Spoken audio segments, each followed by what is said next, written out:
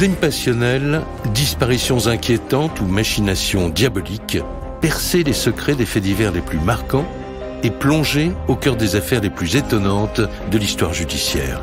La découverte de la vérité ne tient parfois qu'à un fil. Bienvenue dans Chronique criminelle. Dans cet épisode, l'affaire Estelle Durand.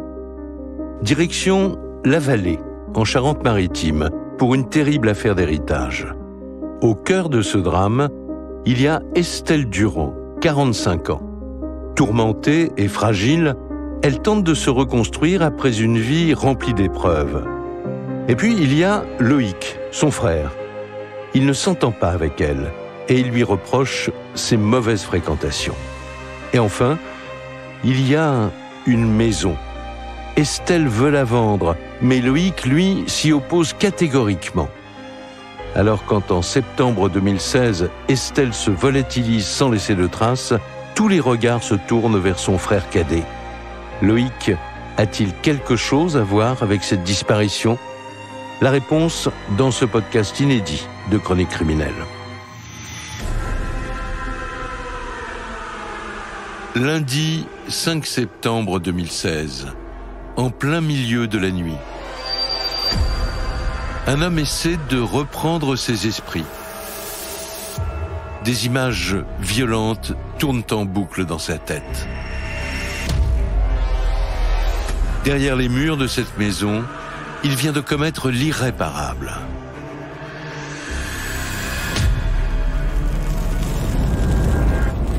C'est l'épilogue d'une affaire hors norme sur fond de haine, de rancœur et d'instinct criminel.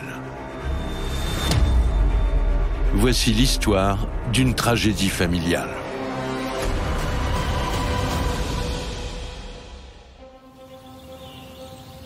Tout commence à La Vallée, un petit village typique de Charente-Maritime, niché en plein cœur des marais.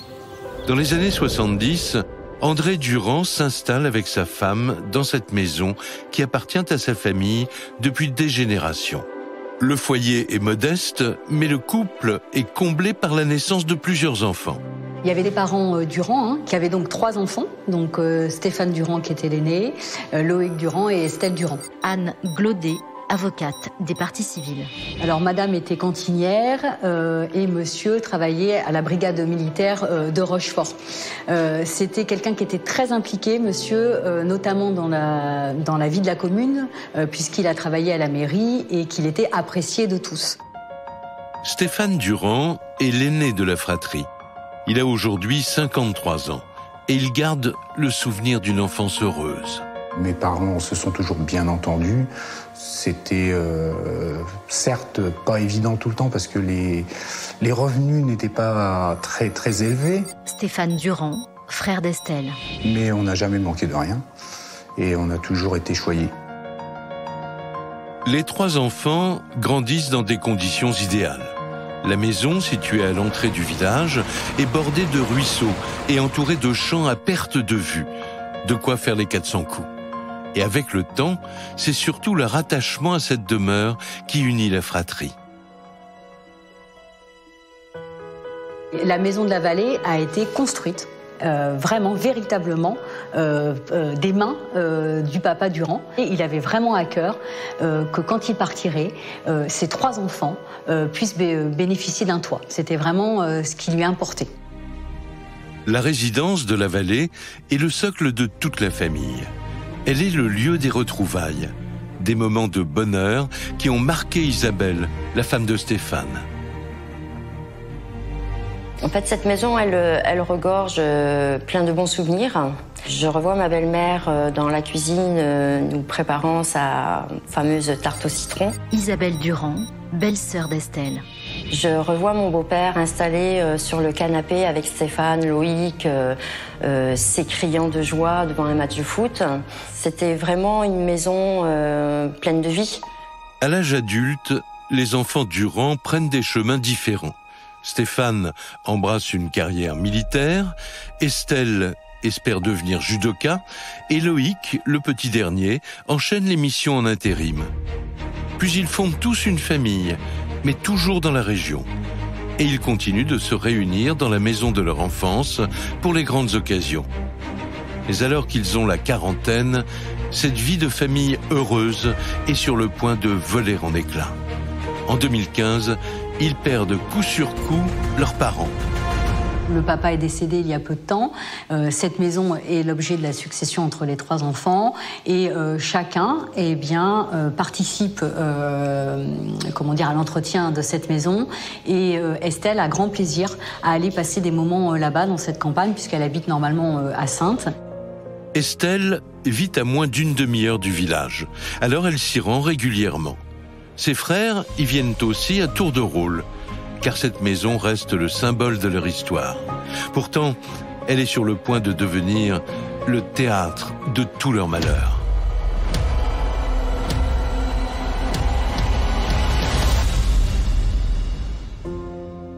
Un an après le décès des parents Durand, le lundi 5 septembre 2016, Estelle prévient ses proches qu'elle part quelques jours à la vallée et elle a justement proposé à Daniel, son compagnon, de la rejoindre le lendemain. Daniel avait prévu d'arriver le matin en compagnie de sa sœur, accompagné par sa sœur. Stéphane Manca, journaliste spécialiste des faits divers. Pour retrouver Estelle dans cette fameuse maison. Donc il arrive sur les coups de 10 heures euh, à la maison familiale et ce qui l'étonne, Francesca Sata, avocate des parties civiles, c'est que tous les volets de la maison sont fermés, et qu'il tambourine à la porte et que personne ne répond. Ils font le tour de la maison, euh, ils regardent par la véranda s'ils voient euh, la trace de quelque chose, ils frappent, mais vraiment, il n'y a euh, voilà, aucun signe d'Estelle.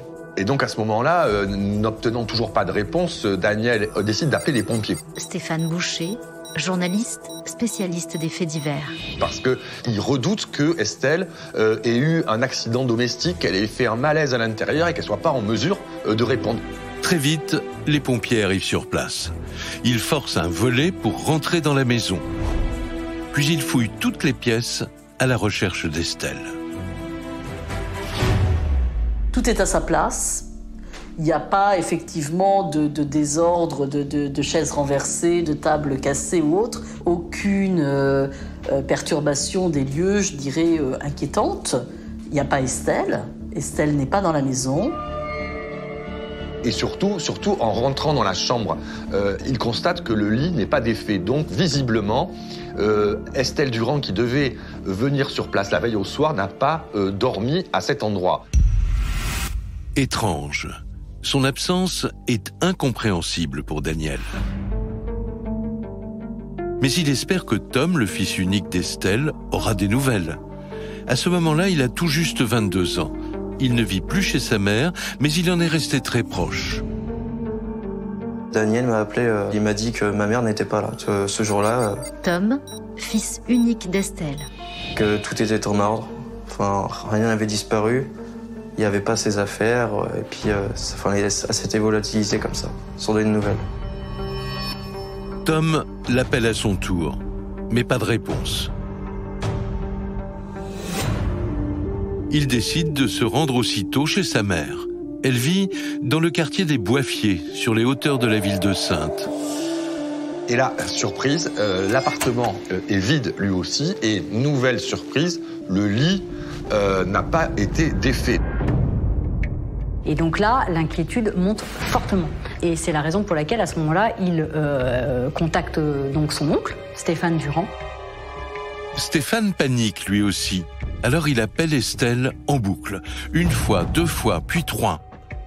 Et il laisse des dizaines de messages. Elle n'a répondu ni à mes textos, ni, euh, ni à mes coups de téléphone.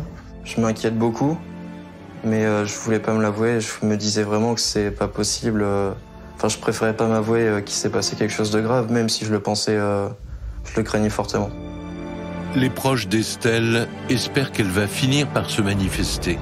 Mais la nuit passe et elle ne donne toujours pas signe de vie. Le mystère s'épaissit et l'inquiétude monte d'un cran.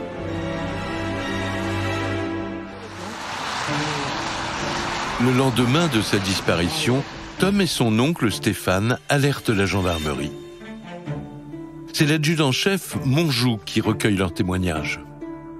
Donc on a en face de nous euh, Tom qui pleure, euh, voilà, qui nous dit c'est pas normal. Adjudant-chef Monjou, commandant de brigade de Saint-Porcher. Ma mère m'appelle très souvent, enfin de manière quasiment quotidienne, là depuis euh, dimanche ou lundi, il a plus de nouvelles de sa mère. Je prends cette euh, disparition euh, donc euh, comme très inquiétante. C'est là que Tom livre une information aux gendarmes. Quand sa mère se rend à la vallée, dit-il, sa meilleure amie, Émilie, vient en général la récupérer à l'arrêt de bus. Pour s'en assurer, l'adjudant-chef Monjou décide de l'interroger. Les gendarmes me demandent euh, si, euh, donc si elle est bien arrivée à la vallée. Et effectivement, je suis allée la récupérer le lundi soir. Émilie, meilleure amie d'Estelle. Elle était bien chez elle avec son sac à main et son gros sac euh, de voyage vert, comme d'habitude, toujours les mêmes affaires. Et après, une fois qu'elle est là-bas, bah, elle avait que son petit programme de prévu. C'était se mettre devant sa petite émission télé. N'oubliez pas les paroles de Nagui. C'était une émission qu'elle adorait. En apprenant la disparition de son amie, Émilie est affolée. Et elle part à son tour à la recherche d'Estelle.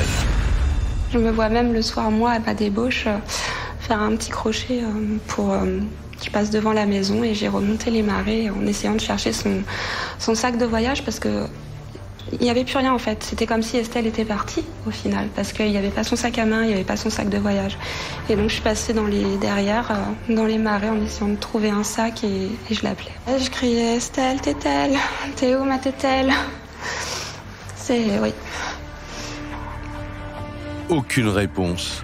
Estelle semble s'être volatilisée. Émilie est bouleversée. À ce stade, tous les scénarios sont possibles. Et si en réalité il était déjà trop tard pour la retrouver? Car les gendarmes s'apprêtent à découvrir qu'elle est une femme imprévisible et tourmentée.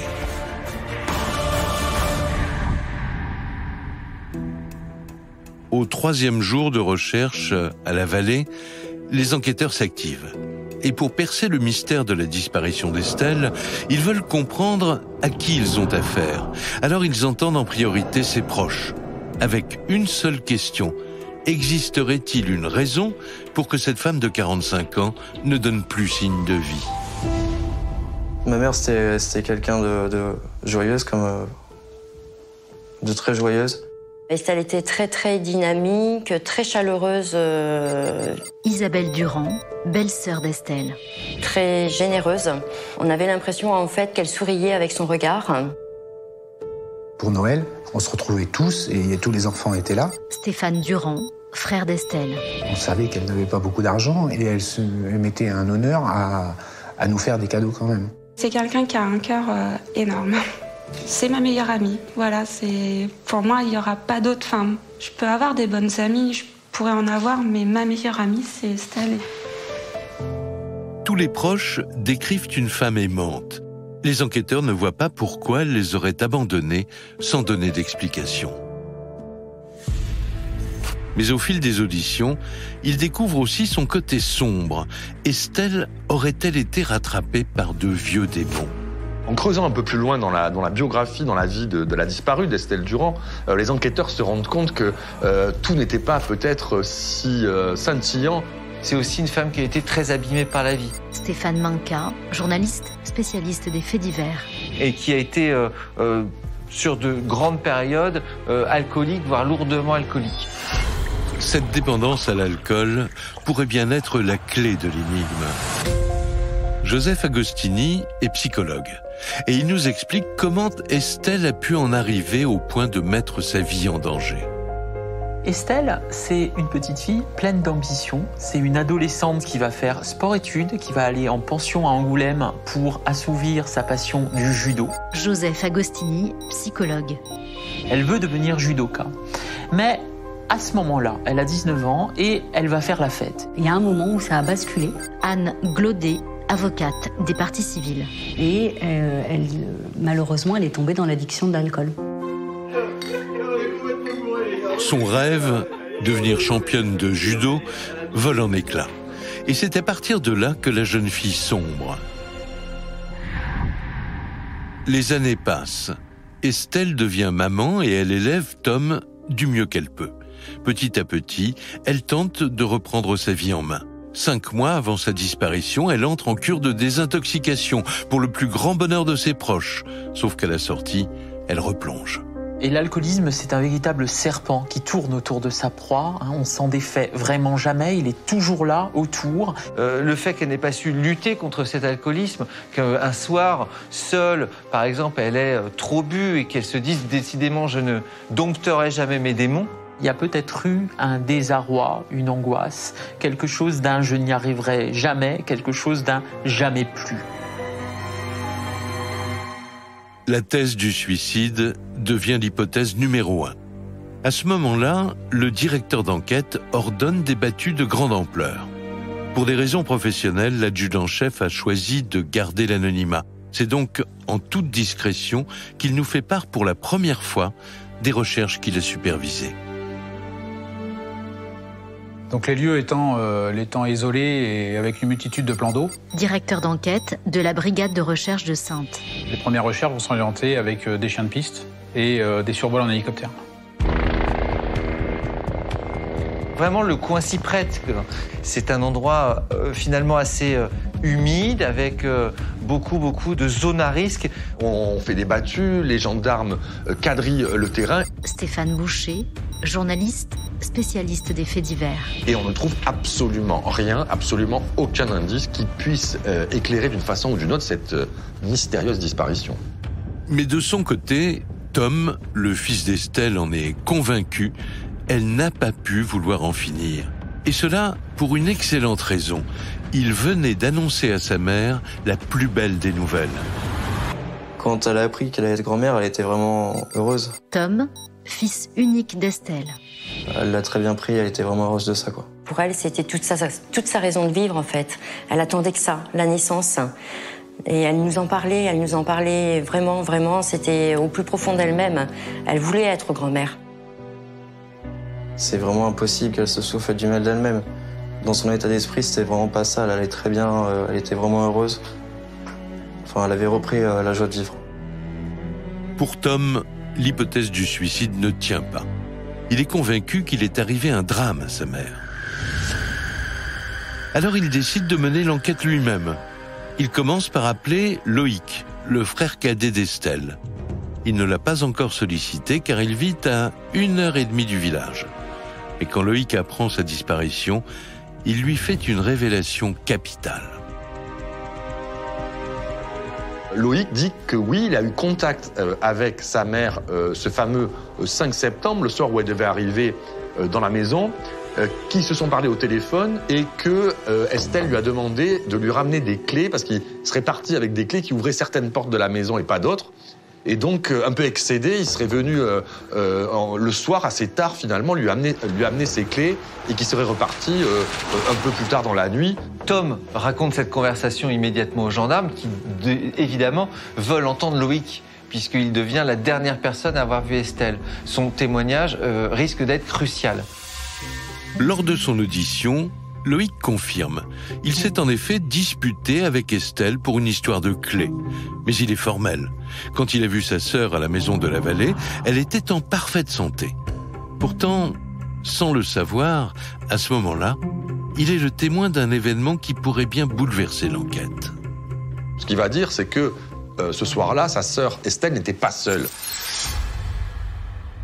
Quand il arrive, explique-t-il, euh, il voit un homme avec elle qu'il n'avait jamais vu, euh, ni d'Ève ni d'Adam, et que visiblement le gars s'appelait Nanou ou Nano ou Nanou, quelque chose comme ça. visiblement, ça serait un surnom. La faible description que nous fait Loïc de cet individu peut correspondre à une personne lambda. Adjudant-chef Monjou, commandant de brigade de Saint-Porcher. C'est un homme de, euh, de type européen, un peu la peau mate. Il est âgé d'environ 45 ans, euh, mais il intervient très peu dans, dans, les débats. Loïc va aussi faire comprendre que la présence de ce type euh, le dégoûte un tout petit peu parce qu'il se dit ah ouais, ça y est, ma sœur est en train de reprendre les conneries, c'est-à-dire mauvaise fréquentation, alcool. Et donc là, il dit moi j'ai pas envie de voir ça, je suis rentré chez moi. En tout cas, forcément, l'attention à ce moment-là des gendarmes c'est, et de tout le monde d'ailleurs, c'est qui est ce nanou, qui est ce type qui est venu. C'est le point de départ d'une nouvelle recherche. Pour les gendarmes, cet inconnu devient leur suspect numéro un. Est-ce que ce nanou aurait pas passé la suite de la soirée avec euh, Estelle à, boire plus que de raison Est-ce que euh, c'est un individu avec lequel elle serait disputée? À ce moment-là, les choses auraient mal tourné, il aurait pu lui arriver malheur. Les gendarmes interrogent tour à tour les proches d'Estelle pour tenter d'identifier ce nanou. Mais l'enquête s'annonce difficile.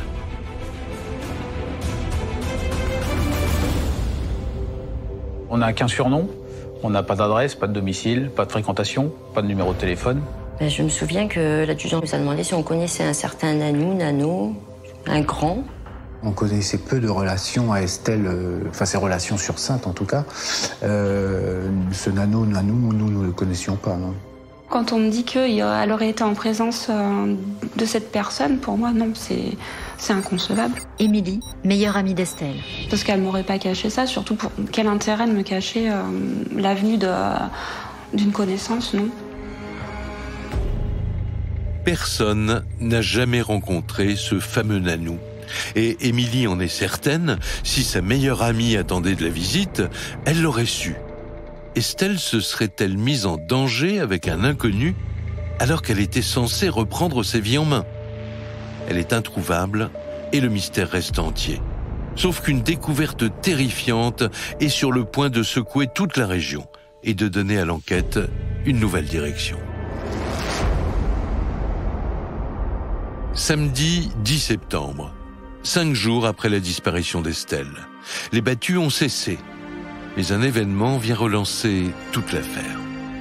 On est à 5 km à peu près du village de la vallée, euh, dans un coin qui s'appelle une localité ou un hameau qui s'appelle Saint-Hippolyte. Et euh, il y a une dame qui euh, fait du vélo avec sa petite fille et qui doit s'arrêter parce qu'elle a un petit problème technique de dérailleur. Et là, tout de suite, elle sent comme une odeur pestilentielle, mais quelque chose de vraiment très écœurant, quoi. Et elle va chercher à savoir d'où vient l'odeur. Francesca Satin, avocate des parties civiles. Parce qu'elle est tout à fait particulière, cette odeur. Elle s'approche et elle voit euh, ce qui semble être euh, clairement un morceau de barbac, quoi. Un morceau de barbac de euh, une quinzaine, une vingtaine de centimètres de hauteur sur à peu près un mètre de long elle n'arrive pas trop à identifier ce que c'est. En tout cas, il y a toujours cette odeur euh, épouvantable euh, de pourriture qui, règne à cet endroit. Et elle va dire tout de suite à sa petite fille, il faut qu'on parte de là. Euh, c'est, je sais pas ce que c'est, mais en tout cas, ça sent très mauvais. Partons de cet endroit-là. Sur le chemin du retour, cette grand-mère cogite. Cette vision d'horreur la hante toute la nuit, au point d'en faire des cauchemars. Alors, tôt le matin, elle décide de retourner sur place pour se faire une idée. Coup de chance, elle tombe sur un ami à elle qui est chasseur. Et donc, ils vont ensemble à l'endroit où elle a euh, aperçu cette euh, masse noirâtre et où elle a senti cette odeur absolument euh, épouvantable. Stéphane Boucher, journaliste, spécialiste des faits divers. Et là, plus de masse noirâtre. En tout cas, ce qu'elle avait vu la veille a disparu. C'est troublant, car elle en est sûre, c'est bien ici, sous des branchages, qu'elle a fait hier sa découverte. Les deux amis décident alors de jeter un œil aux alentours. Ils inspectent un peu la, brave dame et son, et son ami chasseur et ils tombent sur des os. Des os euh, plus ou moins calcinés, en partie calcinés. Et ces os, vont le frapper tout de suite parce que là, il est formel. Stéphane Manca, journaliste spécialiste des faits divers. Dis-moi, je, connais tous les animaux de la région. Euh, ce ne sont pas des os. Euh, en fait d'animal euh, sauvage ou quoi que ce soit. Et donc s'il ne s'agit pas d'un animal, c'est nécessairement des os humains. Aussitôt, ils appellent les gendarmes qui gèlent la scène dès leur arrivée. Pour les experts, aucun doute possible. Il s'agit d'un squelette humain. Une analyse est demandée en urgence pour comparaison avec l'ADN de la disparue. Et le résultat tombe le soir même. Ce qui reste en réalité de, sang humain euh, ne laisse euh, aucun doute. Il s'agit de celui d'Estelle. Là, on passe euh, de la simple disparition de personnes majeures à un scénario euh, de film d'horreur. Hein. Euh, Qu'est-ce qui s'est passé? Pourquoi ces ossements? On peut penser que le corps a été démembré. Donc là, l'enquête change totalement de dimension et on passe d'une disparition inquiétante à un crime absolument épouvantable. Estelle aurait donc été assassinée et à seulement quelques kilomètres de chez elle. Pour les gendarmes, c'est peut-être dans cette maison de famille que le drame se serait noué.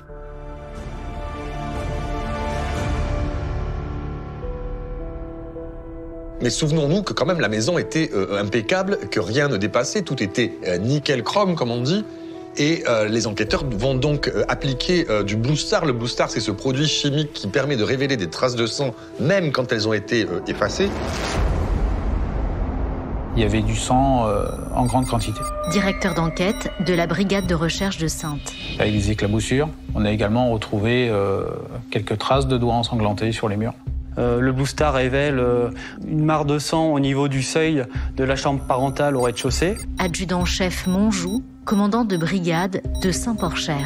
Puis qu'ensuite le corps a été traîné du salon en passant par la cuisine et en repartant par la véranda.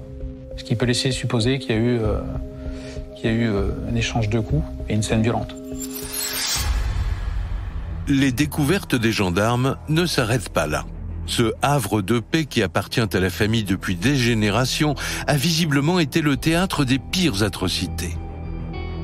En fin de compte, en sortant de la maison, en face de la porte de la véranda, euh, donc il y, a un amas, un petit amas de végétaux et lorsqu'on cherche un peu plus loin, on, défait ce tamas de végétaux et là on voit un, brûlot euh, que l'on estime assez récent. Ce brasier, euh, qu'est-ce qu'on en voit? On voit qu'il euh, y, a de la suie, c'est calciné. Et en cherchant, voilà, avec un bâton, on découvre un os. Et puis après, plusieurs ossements dans ce brûlot. Et euh, détail absolument sordide, c'est qu'en fait, c'est à la place du bac à sable où euh, les trois frères et sœurs jouaient quand ils étaient enfants. Et la confirmation est sans appel. Les ossements retrouvés dans le brasier appartiennent bien à Estelle. Là, on rentre dans quelque chose d'absolument euh, monstrueux. ces ossements qu'on retrouve un peu comme un jeu de piste macabre, c'est proprement effrayant. Ces découvertes, c'est la stupéfaction tout le monde est dans les mois. Que s'est-il passé euh, dans cette maison euh, Qu'est-il arrivé d'Estelle? Le tueur aurait donc cherché à faire disparaître le corps d'Estelle en le brûlant pour effacer les traces de son crime. Puis il aurait ensuite dispersé les morceaux de son cadavre.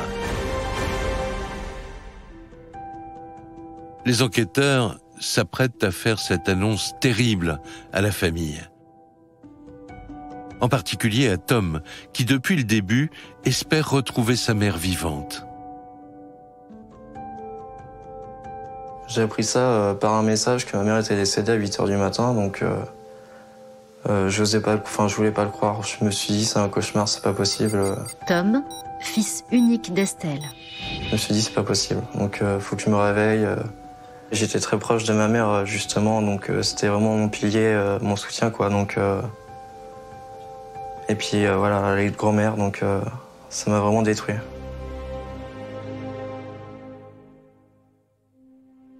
On est dans un autre, un autre monde, quoi. Euh, c'est irréaliste. Stéphane Durand, frère d'Estelle. Pour moi, c'était irréaliste qu'une telle chose puisse ait pu se produire dans la maison de mes parents, enfin dans notre maison. Et Stéphane m'a envoyé un, SMS en me disant euh, ma sœur a été retrouvée. Isabelle Durand, belle-sœur d'Estelle. Avec euh, trois points de trois points de suspension morte.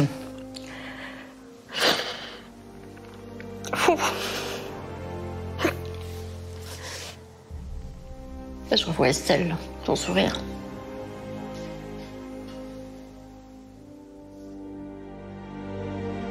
Mais la famille n'est pas au bout de ses peines.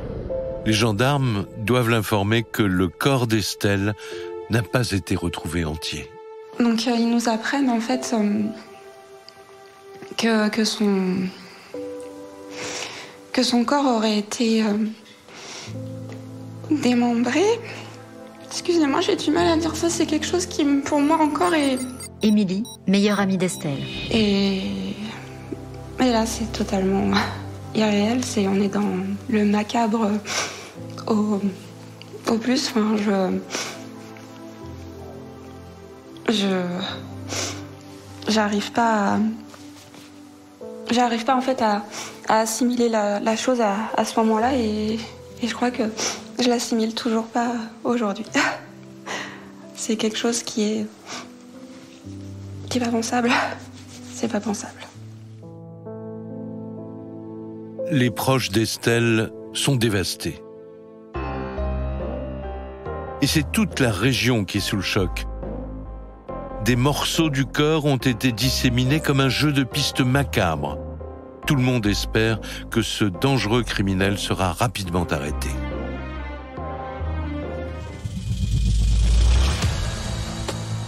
Au lendemain de la découverte du corps, les gendarmes reprennent leurs investigations et ils commencent en priorité par une enquête de voisinage.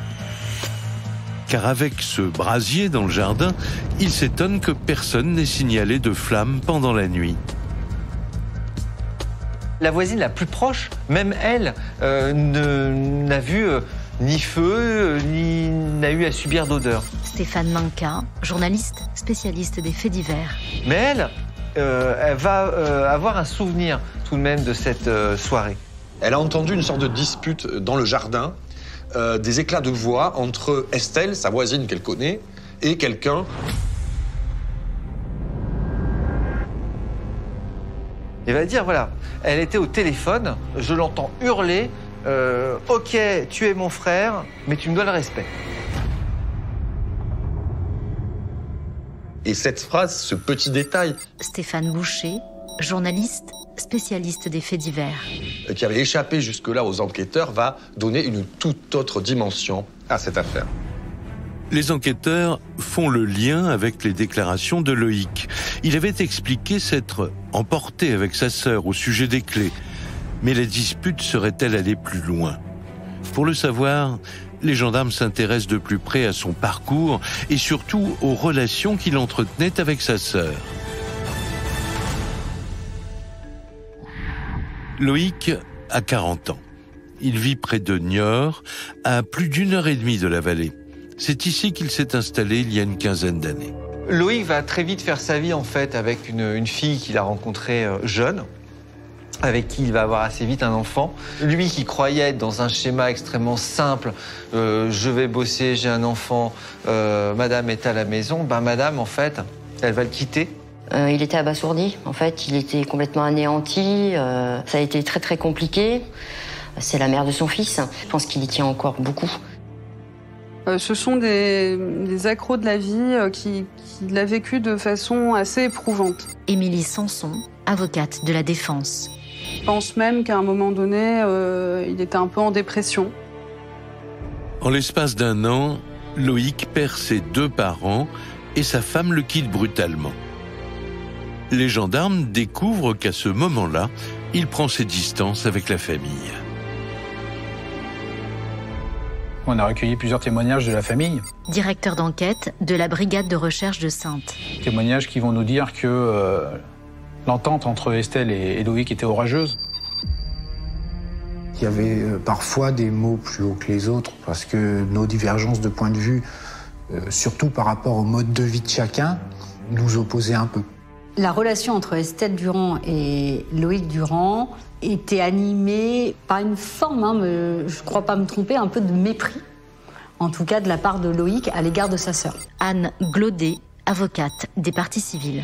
Euh, sur le mode de vie qu'elle a pu adopter, et finalement elle n'avait pas droit au chapitre, elle valait pas grand-chose. Il y avait beaucoup de ressentiment de Loïc envers Estelle par rapport à son mode de vie, à son penchant pour la boisson, le fait qu'elle ramène euh, euh, des inconnus pas tous recommandables. Et donc il y avait beaucoup de haine qui avait éclos entre les deux.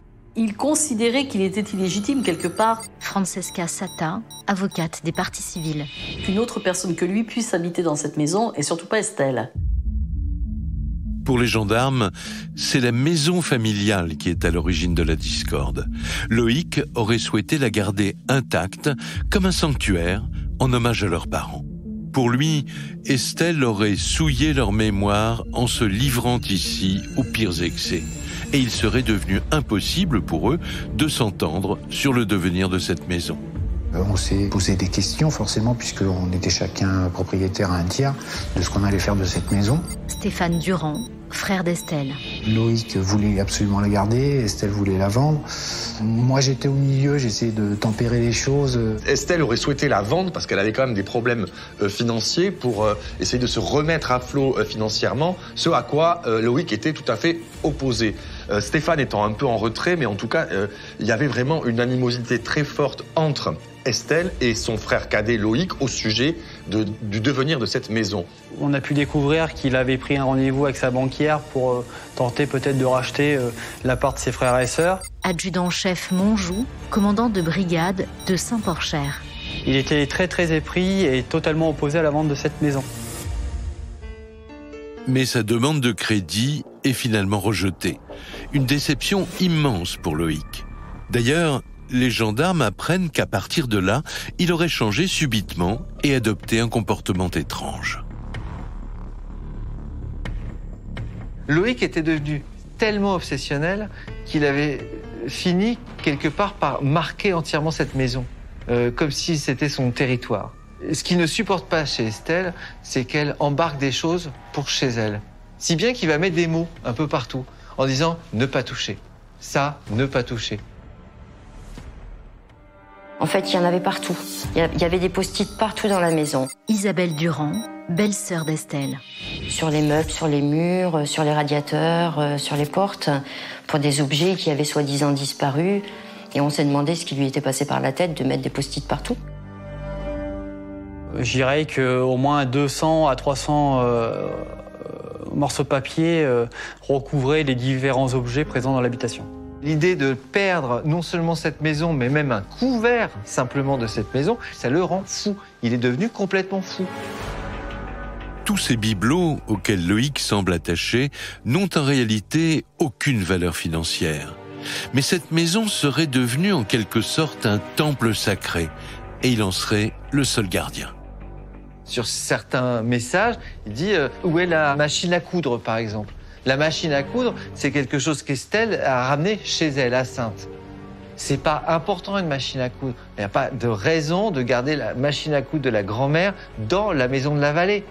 Mais pour Loïc, ça manque. C'était la place de la machine à coudre. Alors à la place de la machine à coudre, il met machine à coudre.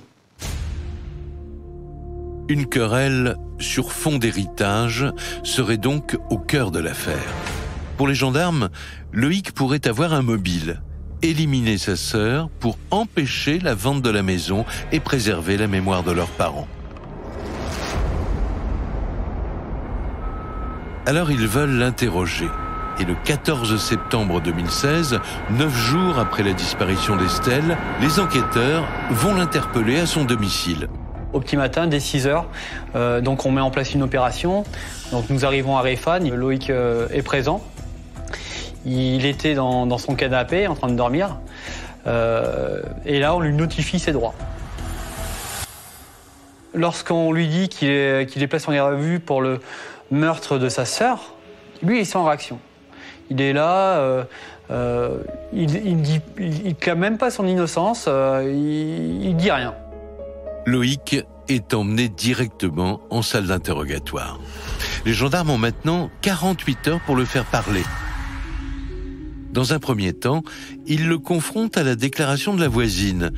Le ton serait-il monté plus qu'il n'a bien voulu l'avouer ce soir-là Il va répéter ce qu'il a dit jusqu'à présent, c'est-à-dire qu'il est venu ce soir-là. Stéphane Boucher, journaliste, spécialiste des faits divers. Euh, qui a eu une sorte de dispute, qu'il a peut-être euh, dit qu'il allait lui mettre euh, sa main en travers de la figure. Mais en tout état de cause, il va déclarer qu'il est parti et que sa sœur est en bonne santé et qu'elle était toujours en compagnie de Nano ou Nano. Problème, le fameux Nano reste introuvable. Les enquêteurs se demandent si leur suspect n'a pas inventé cette histoire pour brouiller les pistes. Mais Loïc ne capitule pas. Alors les gendarmes passent à la vitesse supérieure. Ils ont en main la preuve de son passage au péage, la nuit du crime. Et l'heure de son retour les intrigue. Dans sa première déclaration, Loïc Durand va nous expliquer qu'en fait, il est juste venu rendre les clés de sa sœur, qu'il s'explique avec elle et qu'il est reparti. Mais le problème, c'est que s'il dit être resté quelques minutes uniquement pour cette histoire de, de- de trousseau de clés, on devrait le voir repartir dès grand maximum 23 heures. Or Loïc rentre bien plus tard dans la nuit, à 5 heures du matin. On lui dit mais euh, qu'avez-vous fait? Mais c'est pas possible. Vous avez euh, discuté pendant 5h30 et là il commence à, changer, ses, à modifier ses déclarations. Il nous dit non, euh, j'ai discuté pendant deux heures avec ma sœur, hein, est monté. il a fallu que je fasse un break, donc je suis parti marcher. On voit que, Loïc ne lâche rien. Il dit qu'il est innocent, qu'il n'a rien à voir avec la mort de sa sœur. Il dit Est-ce que vous me voyez démembrer le corps de ma Et donc ça paraît tellement euh, inconcevable euh, que pour les enquêteurs, c'est un petit peu l'impasse, hein, parce qu'on n'arrive pas à le faire craquer. C'est une course contre la montre. Si Loïc campe sur sa version, les gendarmes risquent de voir le suspect leur échapper à la fin de la garde à vue. Et il ne leur reste plus que 12 heures pour le faire parler. Ils décident donc de changer de stratégie. Aussitôt, ils suspendent l'interrogatoire et demandent l'intervention en urgence de la brigade cynophile. En lui faisant sentir un vêtement de Loïc, le chien arrivera-t-il à détecter sa présence sur la scène de crime? C'est l'opération de la dernière chance. Nous avons l'idée de, faire venir un, chien euh, renifleur, hein, un chien piste, hein, pour, euh, pour éventuellement voir si son odeur est présente, non pas à la maison de la vallée, mais bien présente euh, sur les lieux de la découverte d'ossements calcinés hein, vers Saint-Hippolyte. Que le chien, avec la seule odeur de Loïc, Anne Glaudet, avocate des parties civiles.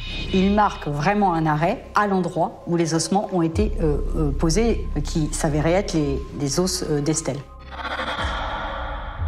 Et là, c'est un peu le coup de génie de cette enquête, euh, quelque part, parce que là, on a quand même un début de scénario, à savoir que Loïc était avec sa sœur et euh, qu'il l'a sans doute prise en charge dans sa voiture et qu'on retrouve son odeur à l'endroit précis de découverte des ossements d'Estelle. Il n'y a donc pas de doute. Loïc était présent sur la scène de crime. De retour à la brigade, les gendarmes en sont sûrs. Avec cette preuve accablante, ils tiennent leur suspect. Ils reprennent l'audition confiants.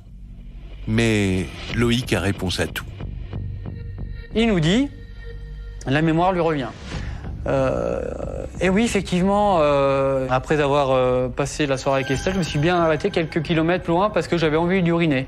Et ça nous paraît d'autant plus bizarre que l'endroit où il a déclaré s'est arrêté pour uriner Directeur d'enquête de la brigade de recherche de Sainte. est à 3 km de la maison de la vallée et qu'il aurait pu uriner avant de partir.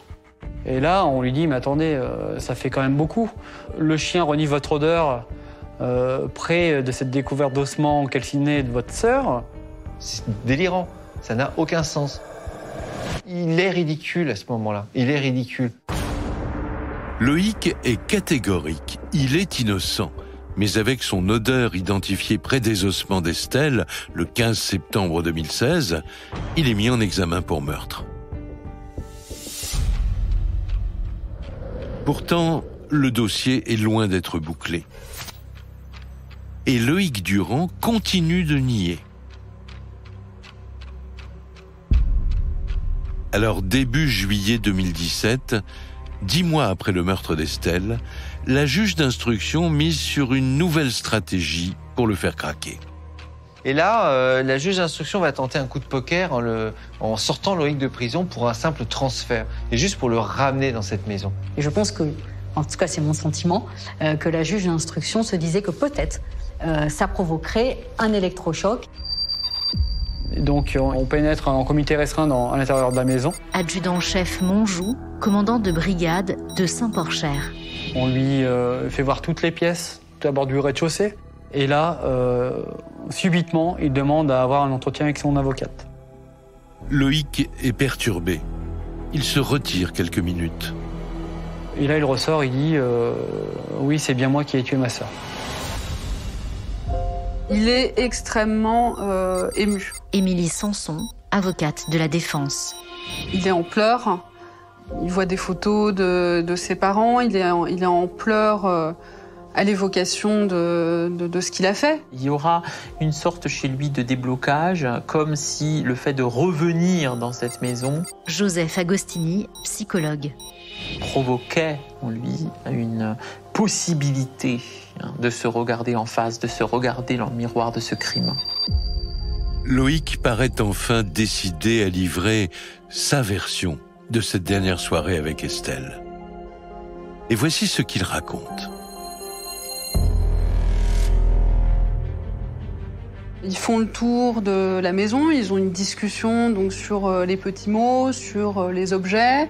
Le ton est fortement monté, il y a eu des insultes, des reproches euh, faits par l'un et par l'autre. Et c'est là, en fait, où il dit Stéphane Manca, journaliste spécialiste des faits divers. Là, d'un coup, ma sœur a été prise de furie. Et finalement, il a peur parce qu'il il, il est un petit ga- gabarit, lui. Sa sœur, c'est quand même une ancienne judoka, donc il en a peur. Euh, à ce moment-là, elle se met euh, à être violente à son égard. Elle se met à lui porter des coups. Donc, il se protège, euh, espérant en fait euh, tout simplement se défendre, hein, puis euh, partir. Mais la bagarre monte d'un cran. D'après Loïc, Estelle serait devenue incontrôlable. Et il dit Je la vois se précipiter vers un marteau qui se trouvait là. Bah, il comprend que ça va vraiment dégénérer, Euh, que là, c'est plus les coups qu'il esquive, euh, mais qu'elle va se servir du, du- du marteau à son encontre. Et là, il a peur. Et euh, il dit euh, euh, C'est presque comme un réflexe. Je m'en suis emparé en premier. Elle tourne le dos à un moment donné Francesca Sata, avocate des parties civiles. et il semblerait qu'il lui assène un coup, un seul, c'est ce qu'il dit, sur la tête. Estelle s'effondre. Et puis, plus rien. Juste un filet de sang qui se répand sur le sol. Loïc en est sûr, sa sœur est morte. Il sort alors dans le jardin pour reprendre ses esprits. Le plus horrible dans cette affaire, finalement, c'est euh, la suite euh, du, du crime. C'est-à-dire comment un frère peut-il se débarrasser de telle façon du corps de sa sœur? Dira à la juge J'avais l'esprit embrouillé, j'étais pas clair. Loïc décide d'effacer toutes les traces de son crime. Il commence par traîner le corps de sa sœur dans le salon jusqu'à la véranda, pour la sortir ensuite dans le jardin. Et là, au milieu du bac à sable, il dépose Estelle sur un tas de bois. Il va asperger le corps euh, d'un mélange euh, d'huile et d'essence qu'il trouve euh, dans le garage de la maison. Stéphane Boucher, journaliste spécialiste des faits divers. Et là, il va allumer un brasier en pleine nuit et euh, le corps de sa sœur va commencer à se consumer assez lentement. Et pendant la crémation, euh, lui, il nettoie parfaitement euh, la maison.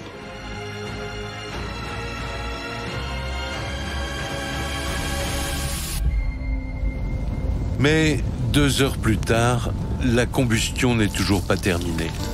Loïc décide alors d'éteindre le brasier. Et à ce moment-là, il prétend encore que le corps est entier et qu'il va l'enrouler dans une bâche. Il décrit hein, qu'il la, il met- il la met dans le coffre. À ce moment-là, il explique qu'il est allé mettre le corps à l'endroit où justement les ossements d'Estelle euh, ont été retrouvés. Il la met dans un fossé, en fait, euh, pas vraiment dissimulé d'ailleurs, hein, il a dit plus ou moins sous des branchages, et il repart. Il prend la route et il arrive chez lui vers 5h30 du matin. Il boit un café et se présente à 9h à son travail, comme d'habitude. Dans la maison de la vallée, à la fin de son récit, Loïc paraît dévasté. Il dit qu'il n'a jamais souhaité en arriver là. Pour lui, c'est juste une dispute qui a mal tourné. Il recherchait pas la mort. hein. Émilie Sanson, avocate de la défense. Dès qu'il est passé aux aveux, il a toujours euh, expliquer ça à la juge, que, que c'était un accident. Sauf qu'on ne le saura jamais parce que comme le corps a été euh, disloqué et qu'on en a retrouvé quasiment rien sinon des cendres et des os, on pourra jamais vraiment savoir ce qui s'est passé. Après dix mois d'une enquête difficile, Loïc est enfin passé aux aveux. Un soulagement pour les enquêteurs. Mais ils doivent maintenant annoncer la nouvelle à la famille. C'est bien lui le coupable. Et jusque-là, les proches d'Estelle préféraient ne pas y croire. On est au cœur d'une tragédie familiale. J'ai vraiment pas de mots, euh, bah, sentiment de colère. Vraiment un sentiment de colère parce que c'est quelque chose, euh, c'est quelque chose d'horrible quoi. Faut vraiment être. euh, Tom, fils unique d'Estelle.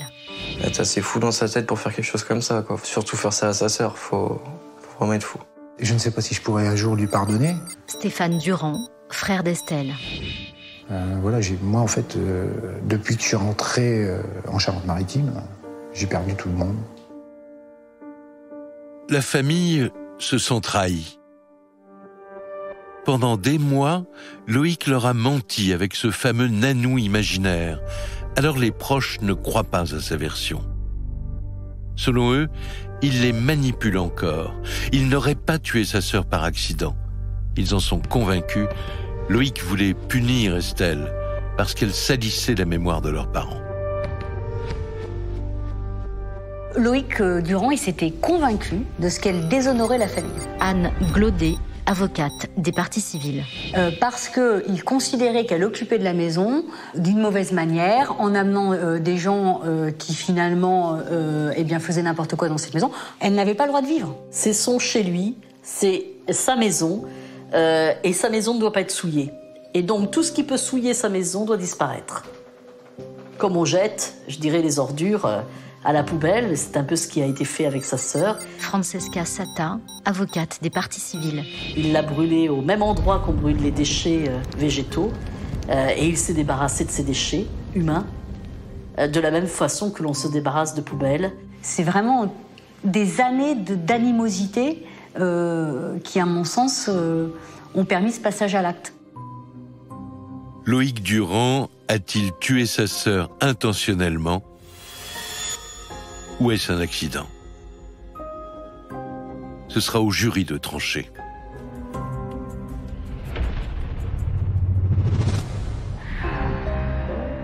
Le 12 octobre 2020, quatre ans après la mort d'Estelle, le procès s'ouvre à la cour d'assises de Sainte. C'est une nouvelle épreuve pour les proches, qui depuis les aveux n'ont pas revu Loïc. Quand je vois Loïc euh, dans le box euh, des accusés, euh, je... Isabelle Durand, belle-sœur d'Estelle. j'ai des frissons, j'ai la chair de poule, ça me fait peur. J'ai un petit peu de mal à le regarder. En fait, c'est comme si je voyais un étranger dans le. C'est plus quelqu'un de ma famille, quoi. Parce que c'est inconcevable qu'on puisse faire quelque chose comme ça dans une famille. Loïc Durand est jugé pour meurtre. Il encourt la perpétuité. Mais s'il convainc les jurés de l'accident mortel, il risque moins de 10 ans. Tout va donc se jouer autour de l'arme du crime, le fameux marteau avec lequel Loïc a tué Estelle.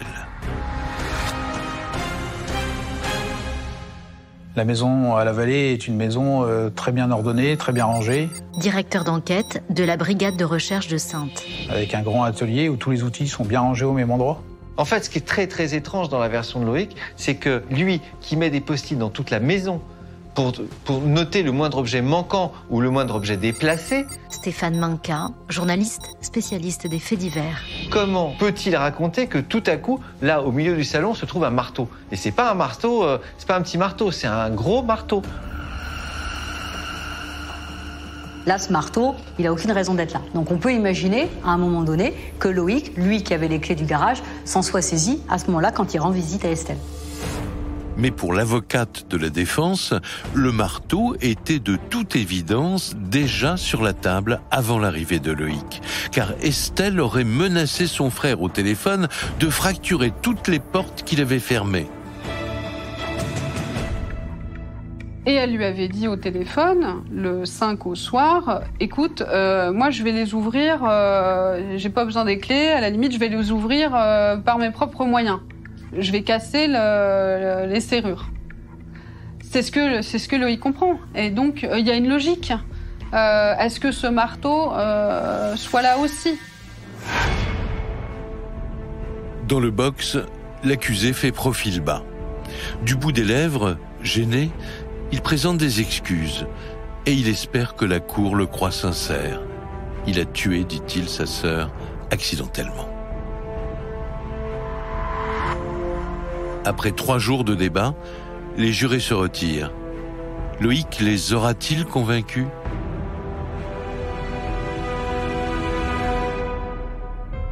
Le 14 octobre 2020, le verdict tombe. Le jury rejette catégoriquement la thèse de l'accident et condamne Loïc Durand à 20 ans de réclusion criminelle pour meurtre. Une peine qui est loin de soulager la douleur de Tom. Je suis pas satisfait, de toute façon je le serai jamais. Euh, que le verdict il a pris 20 ans, pour moi c'est pas assez. Je me réveille dix fois par nuit, j'y pense toutes les nuits, ça me ça m'a vraiment bousillé ma vie. Je tombe en dépression et euh, heureusement que j'ai eu ma fille. Enfin, m'a vraiment sauvé la vie. C'est euh, aurait pas été là, je sais pas ce que je sais pas ce que j'aurais fait. C'est un grand vide. Au genre d'aujourd'hui, enfin voilà, il n'y a pas une journée où où je pense pas à elle. Et et beaucoup. Ça, au final, c'est, je m'en sers un peu d'une force, c'est que souvent je me dis. Émilie, meilleure amie d'Estelle. T'es vivante, donc euh, t'as pas le droit de te plaindre. Parce qu'il y a ma tételle qui est, qui est là à côté de moi et, et elle serait là à me dire non, t'as pas le droit de baisser les bras. Le fils d'Estelle et Émilie, sa meilleure amie, continuent d'avancer. La fille de Tom a aujourd'hui 5 ans et elle est sa raison de vivre. Mais pour toute la famille Durand, ce drame reste indélébile.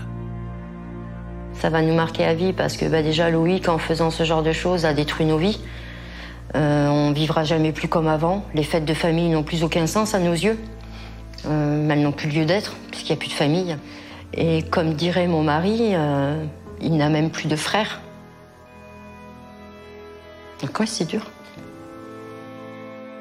Ben, à Estelle, si jamais elle peut m'entendre euh, là où elle est, euh, je m'excuse- déjà. Parce que j'ai pas peut-être géré comme il fallait. Étant l'aîné de la famille, j'aurais peut-être dû plus euh, chapeauter ou je ne sais pas, prendre d'autres décisions. On, on était toujours content de se voir et ça va nous manquer. Ça nous manque d'ailleurs.